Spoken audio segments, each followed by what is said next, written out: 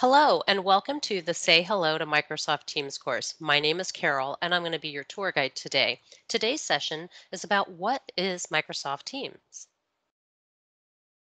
Learning objectives. After today's session, you will be able to easily communicate with your coworkers, save time while working and collaborating in teams, and see how teamwork and projects can be managed in one central place. Today, in your role, you probably have a lot of information coming at you. Whether you're chatting with somebody or calling, maybe you're collaborating with others or connecting with your group using specific business applications. All of this is scattered in different windows and platforms. So today you're jumping from one activity to another activity to get what you need to do done. Well, in Teams, you can do all of these things in one place, even integrate those non-Microsoft applications you might use for specific business processes. So you can call, chat, share, and collaborate on content and files all in one place. You can even configure a space to serve a specific group's needs. Today, we will review three normal working scenarios to see how you can use Teams in common situations. Let's get started on connecting with people. So in this scenario, Grady's in sales. He travels extensively. So whether he's running through an airport or sitting in the back of an Uber or waiting to meet with his client, he still needs to be able to do his job. So he'll need to chat with his coworkers, uh, attend meetings, access files, make changes to those files and comments on those files, and he'll need to be able to do all of that on the go.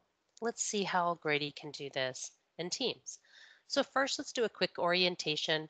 In the top right corner here, we have the, our profile. This is where you can set up your picture and establish your notifications, maybe set your status message if you'd like.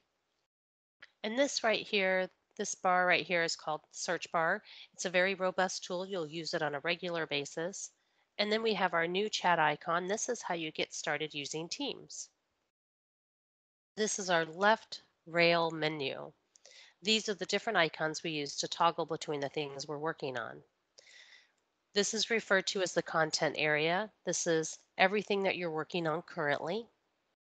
And this is the staging area. This looks like people chatting back and forth, and it's so much more than that. And as you can see, it goes backwards quite a ways. We refer to this as persistent chat. So let's get started. Grady has a new employee. So one of the things he needs to be able to do while he's on the road is check in with her and make sure that everything's going well as she ramps up on her role. So we're just going to click on this new chat icon here and type in her name. It's Henrietta. As you see, we have the type ahead, and that's because the Active Directory is pointing to Teams from Outlook. So as you can see, he's already had some conversations with Henrietta. He's welcomed her to the team. He's even had some fun and sent her a little Giphy, and he's he's given her some directions. So he's asked her to pre-read the client folder to review the statement of work template and the budget, as well as some previous customer stories. This will help the knowledge transfer and base knowledge get get in place before he puts her on the next step in her learning journey. He's also followed up with her a couple of times. Now he can continue to have this conversation with his new employee down here in the dialog box, or he can progress this to a phone call or a video chat. But in this case, he's in the process of helping Henrietta transition from knowledge transfer to actually doing the skills of the job. So he's going to introduce her to Alex, and Alex is who she's going to work with to start participating. So he's going to click on this add person and type in Alex's name and add Alex. And then we have a whole new chatting area. That's because we went from having a one-on-one -on -one private conversation to now having a group conversation. So we'll take a look in a little bit what happens when you add somebody to a group conversation. So now you Grady may need to actually check on Henrietta again or Alex and see how Henrietta is doing. He can do that. He has pinned Alex and Henrietta right here to his content area. So he can just check on Henrietta, go right back to that persistent chat and ask her, so how's your uh, shadowing going? Are you enjoying the role? Or he can check in with Alex. How's Henrietta doing? She learning quickly. As you can see, Alex thinks that Henrietta is doing, doing a great job. So let's see how a group conversation. The next thing Grady needs to do now that he's checked on his new employee is check on his team that's working on a new pitch deck for an appliance company. So we'll go here. Now he just started with this team, so he has already set them up. He put them together in one group um, conversation. They all have different roles. They'll be working on something together. And he's you know reached out let them know hey i put this together and he added in the Polly app just for a little fun put a poll out there what should our team name be? And they decided on the refrigerators. Washer and dryer was the other contender right? So he did this because just to have a little fun and get the camaraderie going in his group so you can see he shared some files they've gone back and forth talking about it and while he's on the road and going from client to client his employees are working on um, this content. So they can certainly scroll back and click on the content here to get it to see it if they want to, or they can come up here and click on files and access the content this way. So as that renders, as you can see, they have options here. They can certainly um, pan through and look at the content this way, or they can come up here and edit. They have three options to edit. The choice is really personal. You can edit in Teams, the desktop app, or the browser app. Any one of these will still save to the original source. And while they're editing, they can still have conversations or reviewing, they can still have conversations with the rest of the team. When they're done, you can just close that out and go back to the conversation. So um, as Grady's running through the airport or sitting in the back of the Uber, he can continue to have this conversation here, or if he would like, he can just jump into a quick call with them or video chat. And if they're not able to meet right now, then he can just come down here and get a meeting right on the calendar. And that way he doesn't forget what he needed to talk with them about. He's already got it scheduled. Notice everybody's already preloaded. Pretty handy. Well, now that they're working and getting everything together, he's going to bring Henrietta in. It's time for her to um, to show off her new skills. So he's going to click on Add People, and notice we have a different choice now because we're adding to a group versus adding to a, one-on-one. So here he can choose to include none of the chat history. Maybe he's worried that it might confuse her, or maybe only include a certain number of chat history. So for example, maybe 10 days ago, they, they changed how they're going to approach this client because of some new information they got. And so they're only going to put in nine days of history. So she'll only see the last nine days of chat and the last nine days of changes to the content. And then she won't be confused by what was happening before that. Or he can include all the chat history because there weren't any changes and there's no concern about being confused. So that was pretty easy. So as you can see, Grady was able to engage in his one-on-one conversations as well as his group conversations. He would be able to attend meetings and um, and have ad hoc calls and video chats as well as access files on the go using the mobile app.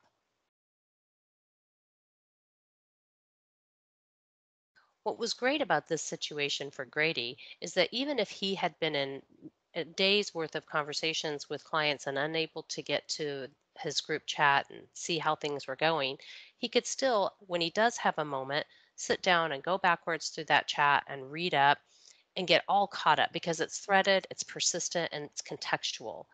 And even though his team is spread across the globe, he can still communicate. He doesn't need to wait until they're available or sitting at their desk. He can go ahead and communicate, and when they get there, they'll see it. He can have private chats, he can have group chats, and he can have fun with it using GIFs and stickers.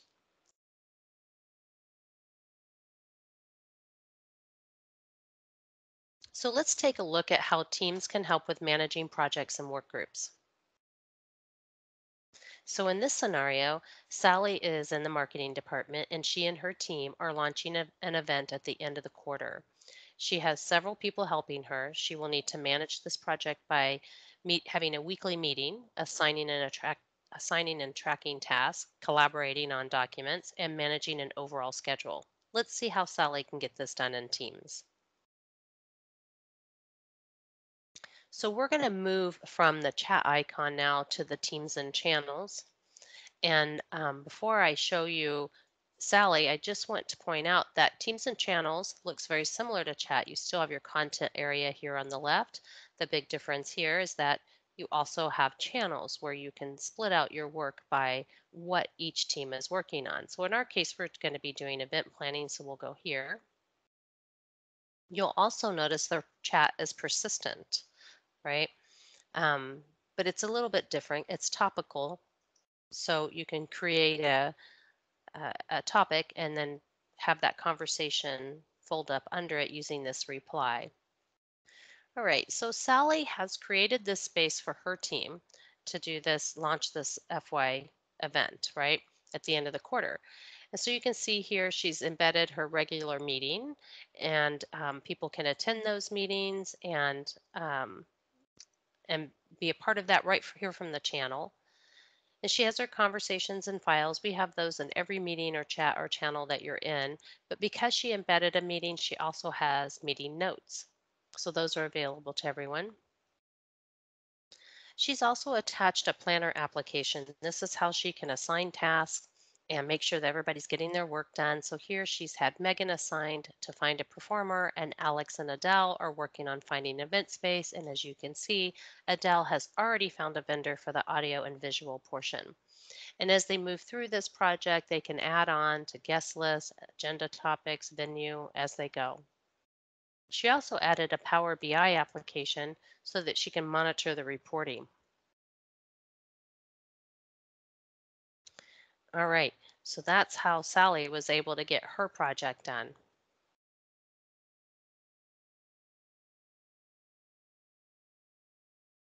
So in Sally's situation, she was able to have topical conversations, access files and tools for her team all in one place. As you can see, teams really centralized Sally's work group and their work and their work to create efficient and comprehensive workspace for them. They were able to attend that weekly sync meeting, assess and collaborate on files and applications, and track threaded conversations. Anyone who might have missed a week could still access the meeting recording and notes contained within the channel. This information was organized and accessible, and it made managing a project super easy. So far, we have seen some very robust options with Microsoft Teams, but there is more. Teams is extensible and capable of making sure you have all the tools that you need to make your internal business processes work. Let's take a look. Here we have Derek. Derek is an engineer. He's responsible for test results and sharing those test results and getting feedback and he will need to create a space that allows for various applications like OneNote and Planner, and he'll need to collaborate on an Excel file. But most importantly, he will need to incorporate some additional functionality. So let's check out what he's doing. So we're going to move from the marketing area here to the engineering and go to the quality assurance um, channel. and as you can see, just like Sally, Derek has embedded a, a weekly meeting for everybody to meet he has a meeting notes tab because of that. He's also incorporated a OneNote tab. Here's where he builds out his test scenarios. It takes a moment for that to render. There it is. And then he's also included a planner application so he can assign those test scenarios to specific testers. But in addition to that, he would like to use a survey tool. So to do that, he can click on this plus sign. And he has the option of using the Microsoft tool of Forms, or if he would rather, if he already has an account with SurveyMonkey, he can scroll down and he can and he can use SurveyMonkey. As you can see, there's a lot of opportunity for using different kinds of business applications while in Teams.